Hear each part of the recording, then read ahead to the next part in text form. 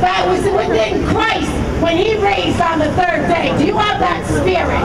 And 250 kids sat there, held hands, and prayed, and stand, stood in line to receive prayer and to know Christ. In Jesus' name. Praise God. God, God, God knows everything. He knows, he knows, he knows before we were ever in our mother's womb. He knows, he knows. So those 250 kids stood there and received prayer.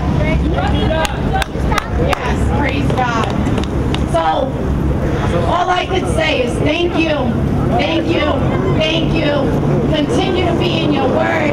Continue to have God real. Continue to make sure that He is the center of every single thing that you do. He has to be the center.